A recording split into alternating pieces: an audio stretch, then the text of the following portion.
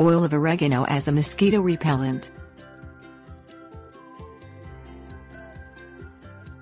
Oregano Origanum vulgare, which is hardy in U.S. Department of Agriculture Zones 4 through 8, is a tasty herb, and it's recommended as a folk remedy for illnesses such as diabetes and spasms, although little evidence exists to support these recommendations.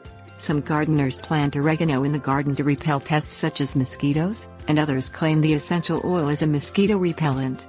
Scientific evidence to support this claim is scarce, but oregano does contain two chemicals with known repellent properties, and because oregano is generally recognized as safe by the U.S. Food and Drug Administration, it doesn't hurt to experiment for yourself.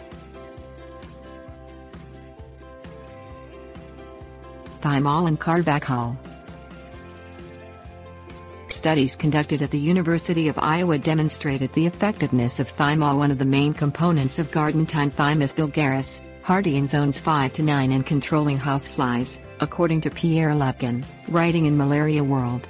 Lubkin also notes the efficacy of another compound found in thyme carvacrol for insect control and notes that oil of oregano contains both of these compounds in concentrations of 38.8 and 32.9% respectively. Repelling malaria-carrying mosquitoes? The Insect Repellents Handbook notes that oil of thyme is a 100% effective repellent against Anopheles quadrimaculatus, a species of mosquito that carries malaria for as long as 30 minutes when applied to clothing. Because it contains the same repellent compounds, oil of oregano may well be equally effective, although few sources spell this out. Using oil of oregano Even though the FDA has granted oregano generally recognized as safe status, the essential oil can cause allergic contact dermatitis when applied topically to sensitive individuals. There are several ways around this. Create a dilute solution by adding a few drops of oregano oil to 8 ounces of water. Put the solution in a spray bottle and spray it on your skin. Mix a few drops of the essential oil and several ounces of a carrier oil, such as coconut oil, olive oil or sweet almond oil, and apply it to your skin with a cotton swab.